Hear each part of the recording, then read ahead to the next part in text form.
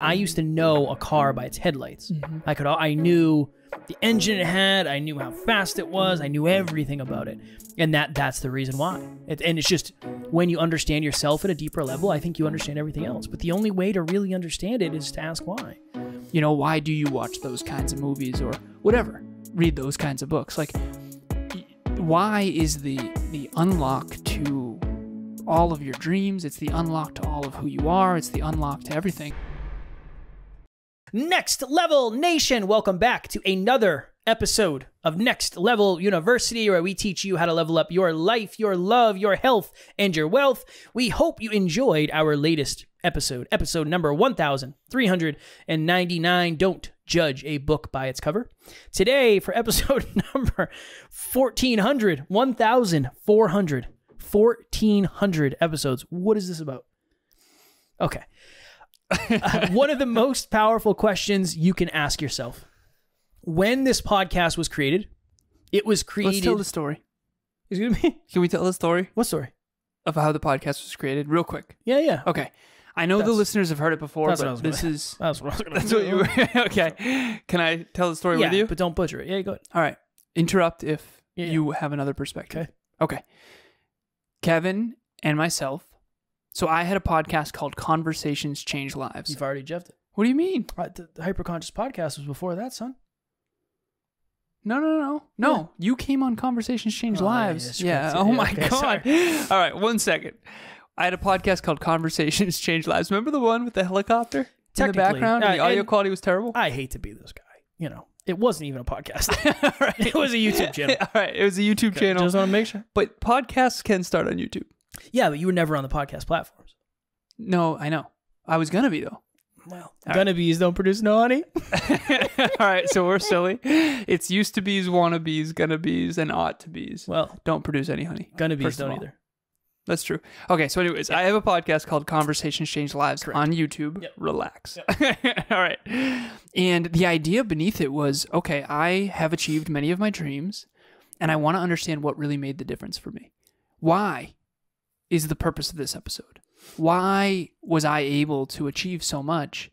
And honestly, and this is uh, hard to share quite frankly, but I looked around in my mid 20s and after my car accident at 26 i looked around and i i just looked at life very differently and i and i looked at some of my peers that i grew up with and i realized that i had achieved a lot of my dreams and they hadn't and i asked myself like what made the difference and i've been asking myself that ever since but one of the things that I came up with that made the difference was great conversations. I've always had deep conversations with really deep thinkers. I've had mentors in all my different roles, all different walks of life. We did an episode on mentors, and I've had dozens mentors, coaches. Now I can say therapist. It's I've always had deep conversations with people my entire life. Mm. That's one thing that's always been a through line. And so I was like, okay, let's create a podcast called Conversations Change Lives because they do. And you will have listeners. This is me talking to myself. I'll have listeners that are like a fly on the wall for powerful conversations so that they can have mentors. And I'll ask good questions and, you know, it'll be contemplation. What did you say earlier about contemplation? The con- Contemplation Nation. the. Contemplation Nation is what I would have eventually had.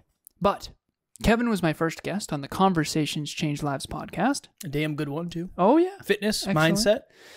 And he, uh, I went to the bathroom and he was talking to my co host at the time and said, What if you could do that for a living? So shout out to Andrew if you're listening. Mhm. And Andrew said, You can. And that was when the Hyperconscious podcast was born. So Kevin bought his equipment and then he had me on as his first guest. And then we did 15 episodes or so together as the Conversations Change Lives meets Hyperconscious podcast, Mhm. which is the worst podcast title in the history of podcast Not titles. great. Not Not, great. great. So we are in the record books for that. I'm joking. And after that, we decided to go all in on hyperconscious. Change the way you think, change the way you act, and change the way you live. And if you look up hyperconscious in the dictionary, the hyperconscious podcast, hyperconscious, you find acutely aware. If you Google hyperconscious, it'll say acutely aware, meaning super, super, super aware and aware of self, aware of the world, aware of how it works, why it works that way. And so this episode is a throwback to the hyperconscious days. Fast forward, fast forward, fast forward. Kevin and I started to grow. We started to have a team. We started to build a real business. And we eventually rebranded to Next Level University, leveling up your life, love, health, and wealth, which is holistic self improvement for dream chasers. And here we are at 1,400 episodes, Mhm. And it's been a hell of a journey. And uh, that is our story. That's how we got here. Six out of ten. Oh my God. no, I'm just kidding. I was waiting the whole time to say that. I don't even. I I had a moment where I was like, I don't even know where I am right now. Yeah, no, it's been a long During day. that story, It's been a I long looked day. up at the camera and I was like, I don't even know where I am right now. You're gonna need a little caffeine before we uh No, before, no. before you drive home. Um, no, no, we're gonna be fine. I'm going to the gym. I know my music cranking. I'm gonna change my story up. I had a, Speaking of caffeine. Oh, that was gonna be your other See, yeah, story. see, that's why I I'm said it. sorry. that was a good segue. One of the most impactful things that has ever happened to me came from me asking myself why. So Alan and I went down to Florida, Mhm. and we were, I believe, we were down there a couple weeks or a month before we were going to co-host an event with one and only Eddie Pinero of Your World Within. Eddie P. Eddie P. And he had a condo down there, and we were working out. We said, "Hey, Eddie, we need to get a workout in today. All right, we're we're serious about our fitness. Do you want to work out with us?" And he's like, "Yeah, I'd love to." He said, "I actually have a gym in my condo. You can come over here and work out." All right, awesome. So we go and work out, and we kind of split up. We weren't really working out together. I think I was kind of working out by myself. You might have been working out with Eddie. And I, when I'm working out, I'm very confident. I've spent a lot of time in, in the gym, 15, 16 years at this point. So I'm probably like a level 10 out of 10 confident. I was in really good shape. You and I were very strong. We were very lean. We were crushing the fitness thing back then. We stop our workout and then we start talking about the event. We start talking about business. We start talking about money, numbers. And I remember I got super insecure to the point where internally, just imagine Alan, myself, and Eddie Pinero sitting on the benches in in this gym. There's nobody else there. It's kind of a small gym, and we're talking about business. And internally, my dialogue was very villainizing of you and Eddie. And I remember thinking to myself, I was like, why am I villainizing them? And why do I feel bad? I just felt so good with my workout, and then all of a sudden I feel insecure. I don't feel smart. I feel less than. What's going on here? Then I kept asking myself why. And I eventually got to the point where I I caught myself and I said, You're villainizing them because you're super insecure about not knowing enough in business. That's why. Why? Well, you haven't studied business as much. Okay, why? Because you didn't come from a business background. Okay, why, why, why? And that was another time in my life where I focused on learning. But that was all based on the fact that I asked myself why enough times to get there. That was one of the the first times where I really understood the importance of why. And I share that on podcasts all the time. So I figured, I don't know if I've ever shared that here. No, I, I didn't know how. I mean, you've definitely shared that with me that that moment was impactful for you, but not to that extent. That is why. What what would have happened had you not done that? I wouldn't have asked why. Yeah, yeah. If you didn't ask why, what would have happened? I probably would have thought you were both dingoes. dingoes. What does that even mean? It's like- a it's a dog from No, Africa. no, no, no. Dingo Jones. I don't know. I just say dingo is a funny. I don't. I probably would have thought you you were both arrogant.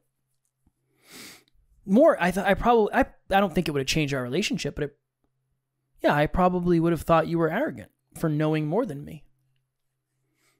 I think that's one of the my that's been one of my keys to survival for for this long in business and everything is usually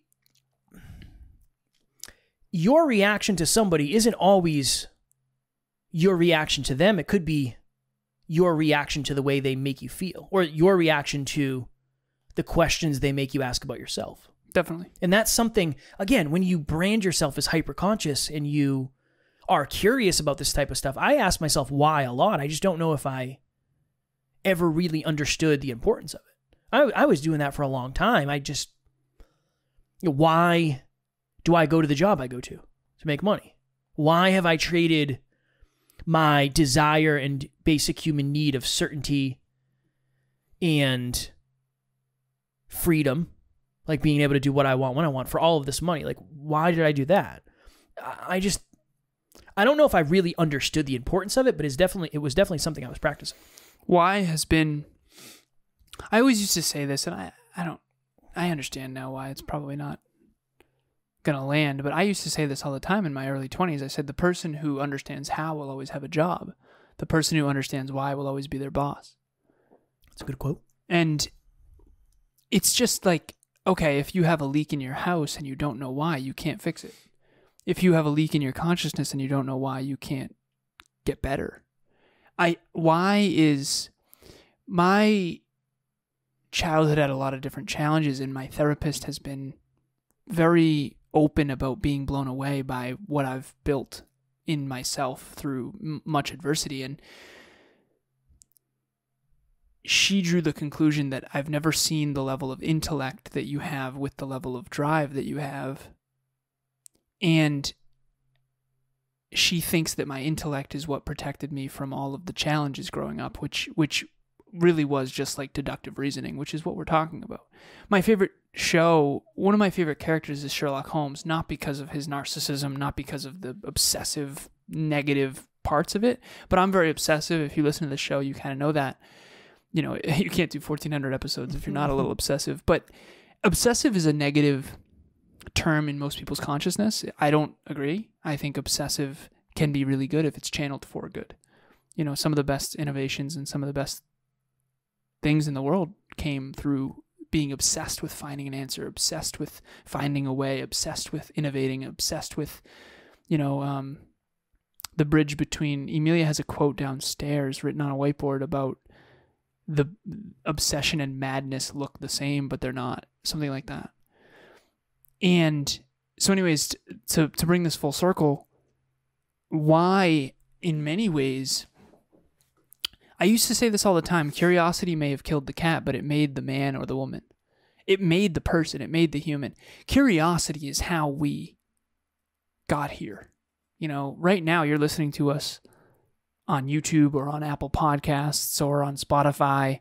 you can be in any country in the world right now listening to us, and that's because someone was asking, why can't we connect through the oceans? Why can't we have internet? Why can't we have a telephone? Why can't we? And I want to share this as well. So I just watched a movie recently, a scene from a movie that was very powerful. There was a, it was a tribute to Thomas Edison, and regardless of whether or not you like Edison as a character, obviously Edison, the light bulb, invented, you know, 10, I think it's 10,000 patents or something. Don't quote me on that. I haven't studied Edison a ton, but he is one of the best inventors in history, and that's a fair statement. Hi, my name's John Laurito, and I just wanted to uh, give a big shout out to Kevin Palmieri. I had uh, reached out to him. He had been referred to me when I had shared with a friend of mine some interest in uh, doing a podcast, and he said, You've got to use Kevin. He's fantastic. He's the best around. He'll get you started and off the ground and and uh, soaring high in no time. And take it from somebody who knows nothing about podcasting other than maybe saying a few things. But as far as behind the scenes, the startup, everything, I knew nothing.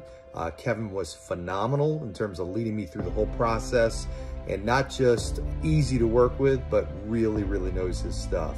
A great combination between leading me through all the stuff I had no idea what I was doing, but also really listening to me and understanding what it was I was trying to accomplish and what my vision is. So whether you're looking for somebody to, to help you and get you started or somebody as I've done where I'm putting it entirely in his hands because I've got total trust and confidence in him and he is a true pro and easy to work with, any of those ends of the spectrum, you're going to have a lot of success and a lot of fun working with Kevin.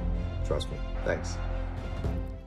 There's an opening scene where the mother gets a letter, or uh, the boy is sitting in uh, in a chair with a letter, and it's from school. And the boy is really sad, and the mother comes over and is like, what, "What's going on?" And it's it's Thomas Edison, the boy, the little boy, Mm. and the mother's like, "What's going on?" and reads, and the boy thinks he's in trouble because basically he got kicked out of school. And the mother reads the letter, and she sees the letter, and you can tell the actress is like, "Uh, uh oh," you know. But instead, she says, "This school is not fit for the genius that your son is. The teachers are not equipped for a mind like his." And it fast forwards to when Thomas Edison is older and in his 70s or 80s or whatever, and he finds the letter and he realizes that it actually said he was kicked out of school because he was not smart enough, Mm. not good enough, not Is that real? I, I honestly don't know, but it's super powerful. Well, let's just say it's real for the sake of yeah. but what I do know is it was a very, very powerful Mm. scene of this idea of self concept, this idea of identity. Were you told you're not smart enough?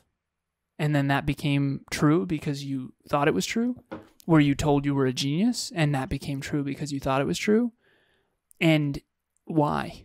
Why do you look the way you look, dress the way you dress, feel the way you feel? Why why do you have the belief systems that you have? Are they real or are they made up? Where did you get them? Did you get them from your grandparents, your parents, your grandparents' grandparents? You know, why do you go to that church or wear that clothing or say that thing? You know, why do you watch those kinds of movies or whatever? Read those kinds of books. Like why is the the unlock to all of your dreams? It's the unlock to all of who you are. It's the unlock to everything and I like how too. I like how as well. I think how is important, but not nearly as important as why. Why this podcast? Why now? Why did Kevin and I get here? Why did I partner up with Kevin? You know, why not someone else?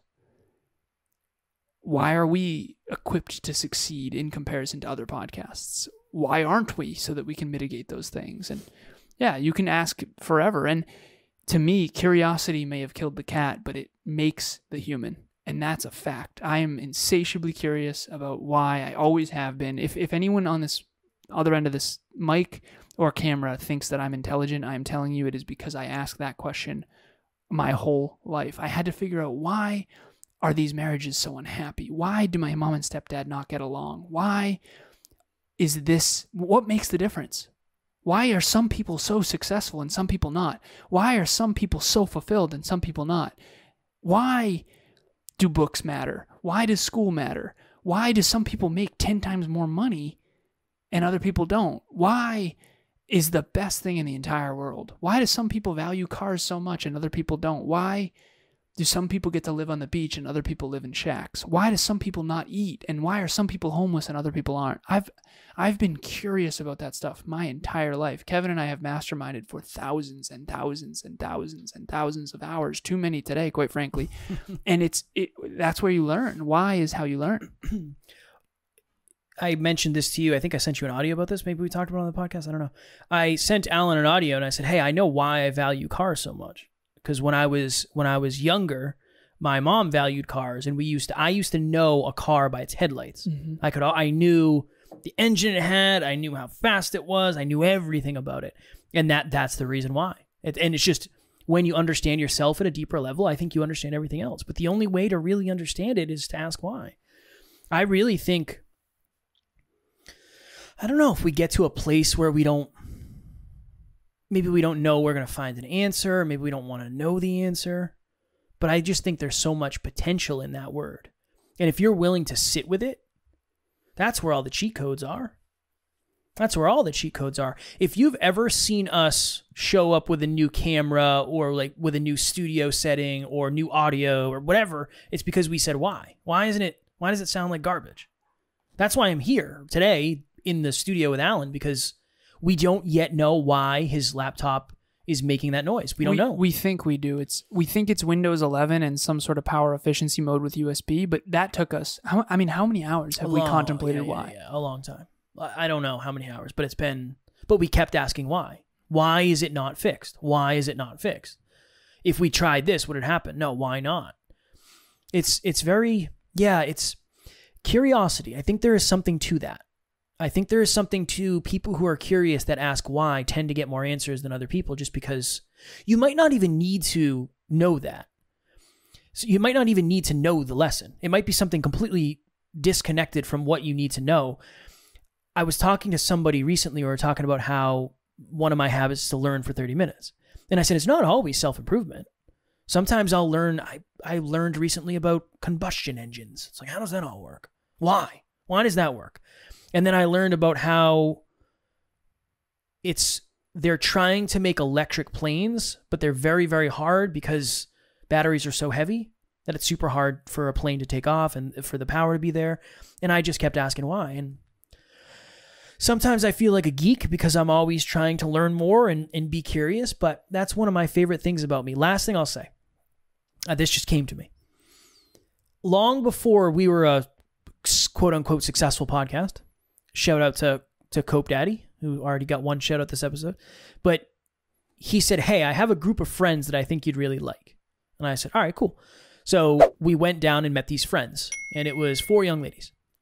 And that night we stayed up until like three o'clock in the morning.